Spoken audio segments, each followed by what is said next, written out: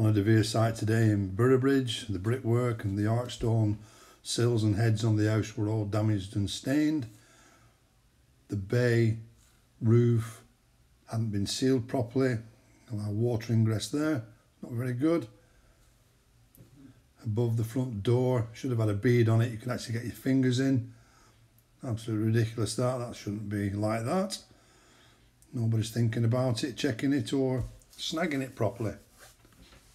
Garage door frame, garage door frame hadn't been sealed. See the packers there.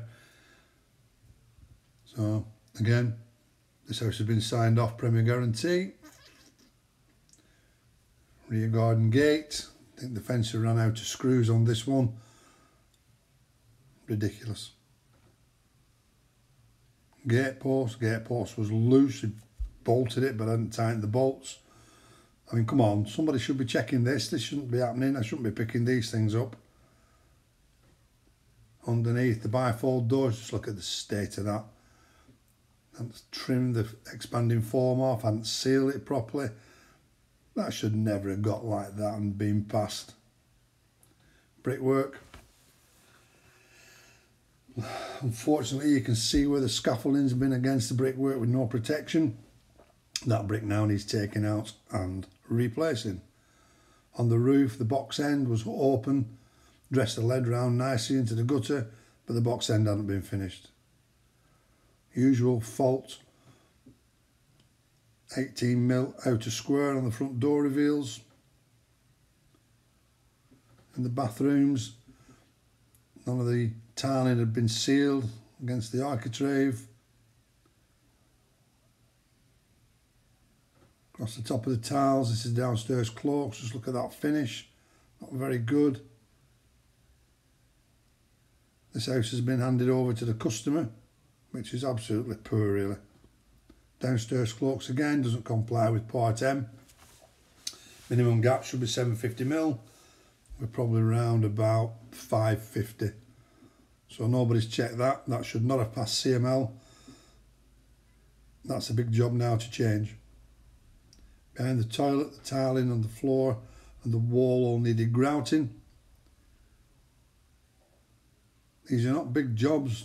They should be done.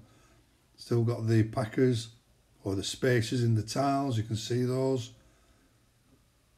Not very good at all.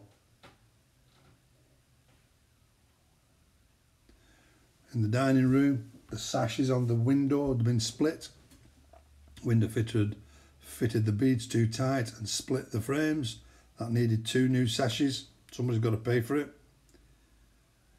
Fridge, the bottom of the fridge housing was damaged. That now needs replacing. That's not repairable. The freezer door, that was also damaged as well. So probably by the plastic surgeon, but the bottom can't be. Worktop in the utility was all smashed. I'd had something dropped on it with an eye impact. In the shower, tiles are lipping.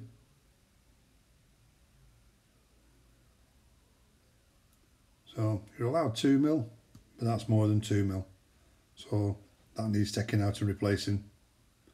Again, bathrooms and en suites. None of the tiles have been sealed around the ceilings. Paint on the tiles.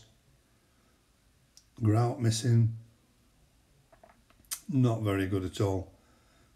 Don't forget this house has been signed off and handed over to the customer as complete. Shower door in the bathroom wasn't even on the rails. I don't know how you miss these things, but surely somebody should be checking these. Ridiculous, absolutely ridiculous. In the garage, fire stopping, breaching building regulations, you shouldn't have pathways for fire. That needs fixing as soon as possible. Not very good at all. Thank you for watching. Don't forget to like, subscribe and click the notification bell for more videos. Thank you.